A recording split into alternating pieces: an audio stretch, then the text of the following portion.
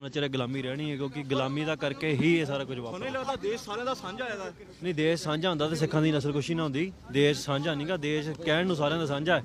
ਪਰ ਜੇ ਦੇਸ਼ ਸਾਂਝਾ ਹੋਵੇ ਫਿਰ ਜੀਵ ਗਾਂਧੀ ਦੇ ਕਾਤਲ ਬਾਹਰ ਆ ਜਾਣ। ਅੱਜ ਮੋਰਚੇ ਫਿਰ ਕੀ ਮਤਲਬ ਮੈਸੇਜ ਦੋਗੇ ਉੱਥੇ ਜਾ ਕੇ ਸਟੇਜ ਅਸੀਂ ਤੇ? ਨੌਜਵਾਨਾਂ ਨੂੰ ਇਹੋ ਮੈਸੇਜ ਦੇਣਾ ਹੈ ਵੀ ਦੇਖੋ ਜਿੰਨੇ ਜਿਹੜੀ ਵਜ੍ਹਾ ਕਰਕੇ ਸਾਡੇ ਬੰਦੀ ਸਿੰਘ ਅੰਦਰ ਗਏ ਨੇ ਕੀ ਉਹ ਵਜ੍ਹਾ ਹੱਲ ਹੋ ਗਈ ਹੈ? ਜੇ ਨਹੀਂ ਹੋਈ ਤੇ ਫਿਰ ਆਪਾਂ ਇਕੱਲੇ ਬੰਦੀ ਸਿੰਘ ਛਡਾਉਣ ਦੀ ਗੱਲ ਨਾ ਕਰੀਏ ਆਪਾਂ ਉਹ ਵਜ੍ਹਾ ਦੀ ਵੀ ਗੱਲ ਕਰੀਏ ਜਿਸ ਕਰਕੇ ਉਹ ਸਿੰਘਾਂ ਨੂੰ ਆਪਣੇ ਘਰ ਸੈਂਟਰ ਸਰਕਾਰਾਂ ਦੋਵੇਂ ਚੁੱਪ ਹੈ ਇੱਕ ਵੀ ਬਿਆਨ ਨਹੀਂ ਆਇਆ ਅੱਜ ਤੱਕ। ਉਹਨਾਂ ਦੀ ਮਿਲੀ ਭੁਗਤ ਨਾਲ ਸਿੱਖਾਂ ਦਾ ਕਤਲੇਆਮ ਹੋਇਆ ਸੀ।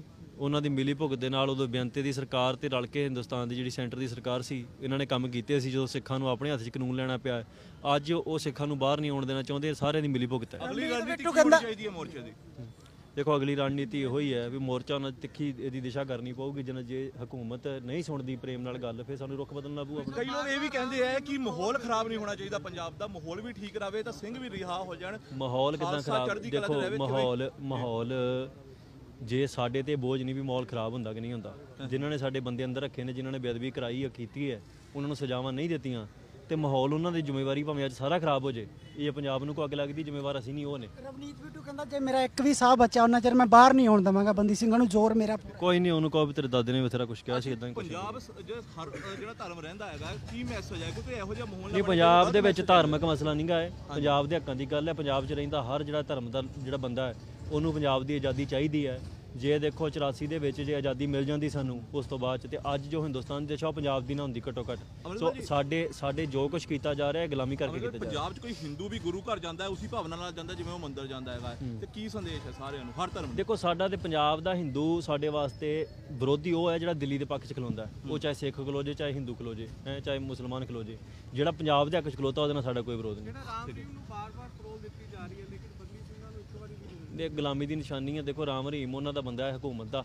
ਰਾਮ ਰਹੀਮ ਨੂੰ ਪਰੋਲ ਵੀ ਦਿੱਤੀ ਜਾਊਗੀ ਉਹਨੂੰ ਸਹੂਲਤਾਂ ਵੀ ਦਿੱਤੀਆਂ ਜਾਣਗੀਆਂ। ਸਾਡੇ ਬੰਦਿਆਂ ਨੂੰ ਜੇਲ੍ਹਾਂ ਦੇ ਵਿੱਚ ਤੰਗ ਵੀ ਕੀਤਾ ਜਾਊ ਤੇ ਸਜ਼ਾ ਪੂਰੀ ਹੋਣ ਦੇ ਬਾਵਜੂਦ ਛੱਡਿਆ ਨਾ ਜਾਊਗਾ ਉਹਨਾਂ ਨੂੰ। ਇਹ ਹਰ ਪੰਜਾਬੀ ਤਿਆਰ ਹੈ ਆਜ਼ਾਦੀ ਲਈ ਜਿਹੜੀ ਤੁਸੀਂ ਗੱਲ ਕਰਦੇ ਸਾਰੇ ਹੀ ਤਿਆਰ ਨੇ ਜੀ ਸਾਰੇ ਤਿਆਰ ਨੇ। ਹੋਰ ਬਾਬੇ ਨੂੰ ਬਹੁਤ ਜ਼ਿਆਦਾ ਪ੍ਰਮੋਟ ਕੀਤਾ ਜਾ ਰਿਹਾ। ਉਹ ਕਹਿ ਰਿਹਾ ਵੀ ਹਿੰਦੂ ਰਾਸ਼ਟਰ ਬਣਾਵਾਂਗੇ। ਦੇਖੋ ਆ ਸਾਡੇ ਵੱਲੋਂ ਹਿੰਦੂ ਰਾਸ਼ਟਰ ਬਣਾਉਣ ਚਾਹੇ ਕੋਈ ਰਾਸ਼ਟਰ ਬਣਾਉਣ ਜਦੋਂ ਅਸੀਂ ਸਿੱਖ ਖਾਲਿਸਤਾਨ ਦੀ ਗੱਲ ਕਰਦੇ ਉਦੋਂ ਫਿਰ ਸਾਡੇ ਨਾਲ ਟੋਕਾ ਟਕਾਈ ਨਾ ਕਰਨ। ਅਸੀਂ ਕਿਸੇ ਦੇ ਵਿਰੋਧੀ ਨਹੀਂ ਆ ਕਿ ਸਾਡੇ ਨੂੰ ਬਣਾਉਣ ਇੱਕ ਆਨਲਾਈਨ ਸਤਸੰਗ ਚੱਲ ਰਿਹਾ ਪਰ ਜਿੰਨੇ ਲੋਕਾਂ ਦੇ ਵੱਲੋਂ ਉੱਥੇ ਵਿਰੋਧ ਕੀਤਾ ਗਿਆ ਉਹਨਾਂ ਨੂੰ ਗ੍ਰਿਫਤਾਰ ਕੀਤਾ ਗਿਆ ਉੱਥੇ। ਇਹ ਦੇਖੋ ਜਿਹੜਾ satsang ਚੱਲ ਰਿਹਾ ਨੇ ਰਾਮ ਰਹੀਮ ਦੇ ਜਾਂ ਕਿਤੇ ਵੀ। ਇਹ ਸਾਡੀ ਨਾ ਹਿੱਕ ਤੇ ਉੱਤੇ ਮੂੰਹ ਦਲਣ ਵਾਲੀ ਗੱਲ ਹੁੰਦੀ ਆ ਵੀ ਜਦੋਂ ਸਾਡੇ ਨਾਲ ਜ਼ੁਲਮ ਕਰਨ ਵਾਲੇ ਬੰਦਿਆਂ ਨੂੰ ਸਾਡੇ ਤੇ ਫਿਰ ਥੋਪਿਆ ਜਾਂਦਾ ਬਾਰ-ਬਾਰ। ਇਹਦੇ ਨਾਲ ਹਾਲਾਤ ਖਰਾਬ ਹੁੰਦੇ ਜਦੋਂ ਨਿਰੰਕਾਰੀ ਕਾਂਡ ਵਾਪਰਿਆ ਉਹ ਤੋਂ ਪਹਿਲਾਂ ਸਿੱਖਾਂ ਨੇ ਬਹੁਤ ਨਿਰੰਕਾਰੀਆਂ ਦਾ ਵਿਰੋਧ ਕੀਤਾ ਸ਼ਾਂਤਮਈ ਤਰੀਕੇ ਨਾਲ।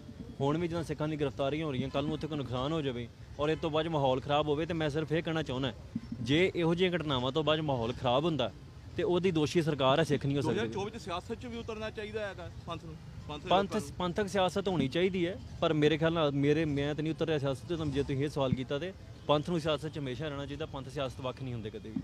ਵੱਡਾ ਲੀਡਰ ਕਿਹੜਾ ਵੇਖਦੇ ਹੋ ਸਿੱਖਾਂ ਦਾ ਇਸ ਸਮੇਂ 'ਚ ਇਸ ਇਸ ਰਾਜਨੀਤੀ ਦੇ ਵਿੱਚ? ਦੇਖੋ, ਸਾਰੇ ਲੀਡਰ ਵੱਡੇ ਨੇ, ਲੀਡਰ ਵੱਡੇ ਛੋਟੇ ਨਹੀਂ ਹੁੰਦੇ, ਸਿੱਖਾਂ ਦੇ ਲੀਡਰਾਂ ਨੂੰ ਕੰਟੀਨਿਊਸਲੀ ਆਪਣੇ ਆਪ ਨੂੰ ਪ੍ਰੂਵ ਕਰਨਾ ਪੈਂਦਾ ਹੈ ਰਾਜਨੀਤੀ ਦੇ ਵਿੱਚ ਵੱਖ-ਵੱਖ ਤਰੀਕੇ ਦੀ ਰਾਜਨੀਤੀ ਹੁੰਦੀ ਹੈ, ਸੋ ਇਸ ਕਰਕੇ ਵੱਡੇ ਛੋਟੇ ਦੀ ਗੱਲ ਨਹੀਂ, ਸਾਰੇ ਲੀਡਰਾਂ ਨੂੰ ਅੱਗੇ ਆ ਕੇ ਆਪਣਾ ਕੰਮ ਕਰਨਾ ਚਾਹੀਦਾ